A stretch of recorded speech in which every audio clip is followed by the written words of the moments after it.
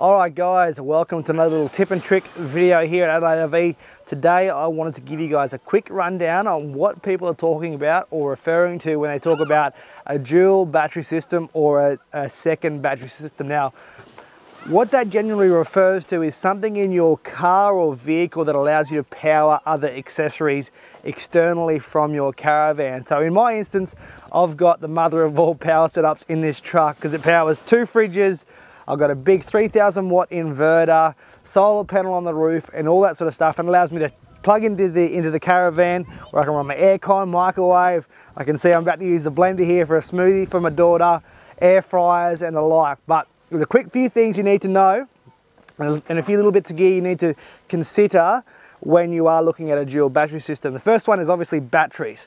Okay, there's obviously a wide range of batteries. Luckily we have Luke from Performance Auto Electrical. Juki has actually done all of my stuff here at Performance Auto, Auto Electrical. So he is the man to enable you to get all this sort of started. So batteries, number one, obviously you need some sort of power source.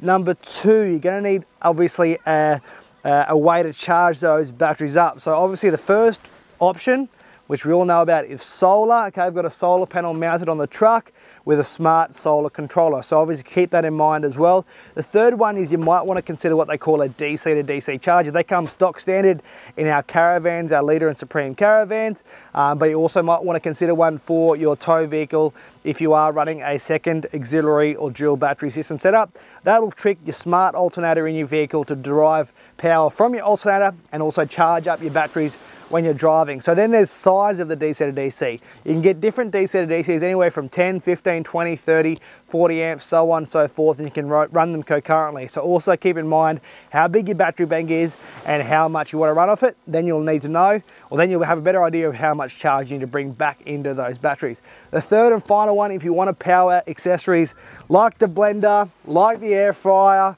like using your air, your aircon in your van off this big battery bank, then you're going to need what's called an inverter. They come in a variety of sizes, anywhere from 150, 300, 600, all the way up to 3000 watt inverters. Your 3000 watt inverter like I have in this system will power absolutely anything you can imagine. But that's a little rundown on 12 volt or a dual battery or auxiliary battery system. I hope you guys have found that helpful. Don't forget to put a comment below if you're running a 12 volt system of your own or let us know what your dream system looks like and follow our socials Adelaide RV, Adelaide RV for more.